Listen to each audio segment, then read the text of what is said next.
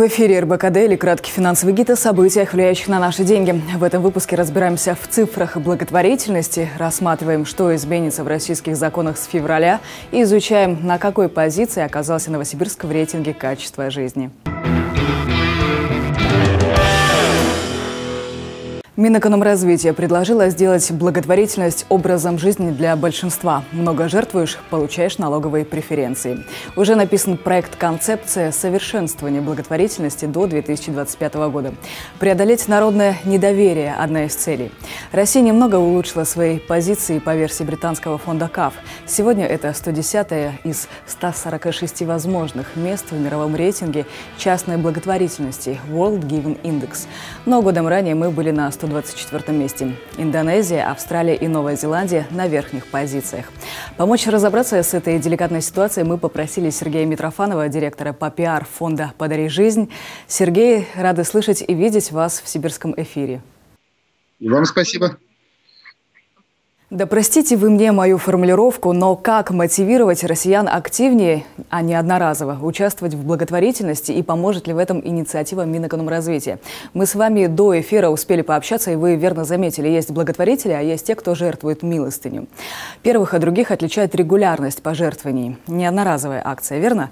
Но вы не можете со мной не согласиться, что уровень недоверия к благотворительным организациям достаточно высок. Сомнительные конторы, которые не гнушаются ничем, лжеволонтеры, которые собирают в прозрачной коробочке деньги для больных детей, якобы. Но существует поверье, что этих детей уже давно нет в живых. Поэтому каждый из нас задается вопросом, кому пошли мои 100 рублей. У вас столько много вопросов, что я прям даже не знаю, с чего начать. Ну, наверное, с того, что вообще... Давайте немножко объясню, а в чем, собственно, эта инициатива и нужна ли она. А, действительно, некоторое время назад Минэкономразвитие проводило опрос среди благотворительных фондов, э, спрашивая о том, что же вы хотите, что мешает, какие законодательные барьеры существуют. Что мешает развитию благотворительности в стране? Они собрали все эти э, данные и э, на этой неделе представили концепцию, которую э, также решили обсудить с представителями благотворительной э, сферы.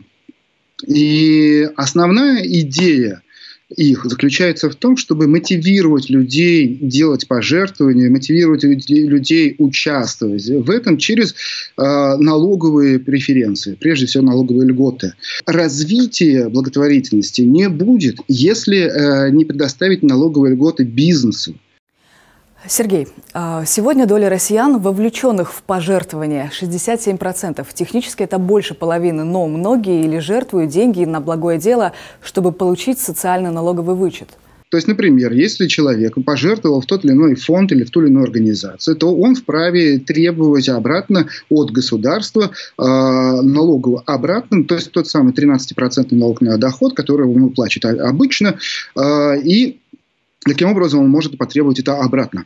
Но э, ведь что получается? Если сейчас я вспомню это исследование буквально недавно, среднее пожертвование по России в год это 870 рублей.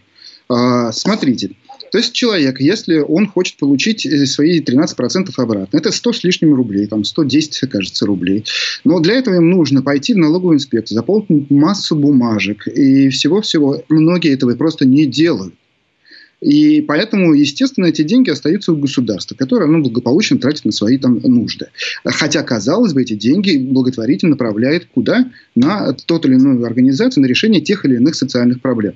То есть и сейчас э, Минэкономразвитие предлагает вот эти 13% объединить и позволить фондам и организациям э, просить эти деньги себе. Ну, понятное дело, с согласия самого э, жертвователя. То есть, если человек пожертвовал и подписал о том, что он э, согласен с тем, что налог на это пожертвование также пойдет в фонд э, или в организацию, то организация, соответственно, это может потребовать уже у государства. Если один человек, он получит 100 рублей, а если это в организации, у которой там тысячи, например, э, людей, которые их поддержали, проекты и так далее, то это уже, соответственно, другая сумма. Спасибо, Сергей. Как вы скромно отметили, теперь у благотворительных фондов все будет хорошо, потому что в дело пришли профессионалы. Сергей Митрофанов, директор по пиар фонда «Подари жизнь», разбирался с нами в инициативе Минэкономразвития сделать благотворительность образом жизни для большинства. Еще немного цифр о том, сколько не жалко. Итак, 67% россиян в течение года жертвуют на благотворительность, и общая сумма составляет от 340 до 460 миллиардов рублей.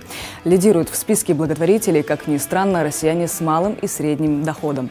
Их общие пожертвования в год составляют 140-160 миллиардов рублей. Далее на втором месте переводы от нефтегазовых компаний. Они отстают от жителей с малым доходом и жертвуют в целом от 100 до 120 миллиардов. Следующие в списке другие крупные организации, жертвующие от 60 до 100 миллиардов в год, ну а состоятельные граждане делятся деньгами в диапазоне от 40 до 80 миллиардов рублей.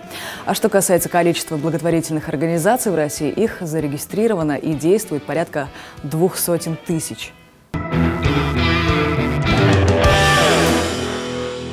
На предстоящей неделе инвесторов ждет послание президента Владимира Путина Федеральному собранию и экономическая статистика РФ за январь, которая покажет, как чувствует себя потребительский сектор. Как отмечают аналитики Bloomberg, из протокола заседаний ФРС они смогут подробнее узнать о причинах голубиного разворота американского регулятора. В прошлогоднем послании Путин предложил существенно нарастить расходы в условиях низкой инфляции и выйти на темпы экономического роста выше мировых. Однако за это время инфляция ускорилась более чем вдвое, а экономика по-прежнему не разгоняется.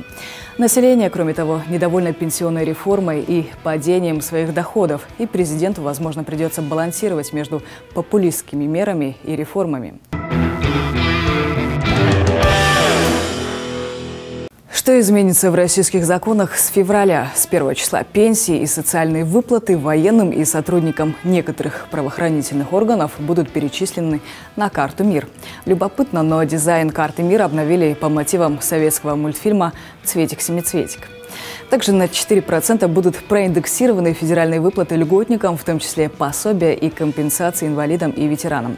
В общей сложности, отмечает РИА Рейтинг, ежемесячные выплаты поднимутся у 15 миллионов льготников.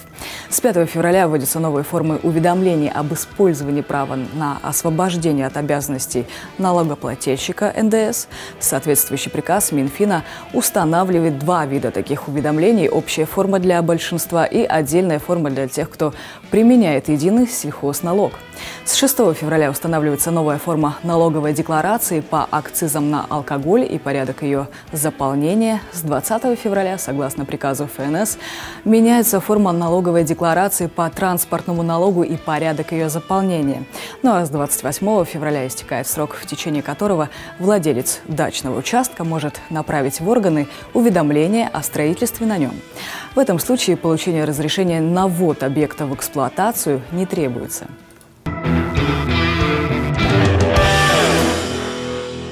Новосибирская область выросла в рейтинге качества жизни. Согласно данным ежегодного исследования от РИА Рейтинг, за год область улучшила свои позиции на два пункта, поднявшись с 26 места на 24. Позиции лидеров остались неизменными. В их число вошли Москва, Московская область, Санкт-Петербург, Татарстан, Белгородская область и Краснодарский край. На этом все. О других событиях, влияющих на наши с вами деньги, в следующих выпусках РБК Дейли.